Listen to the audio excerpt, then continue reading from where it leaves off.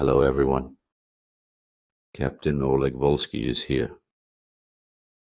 In this video, I will show you how to tie a Kalmyk loop. We're starting.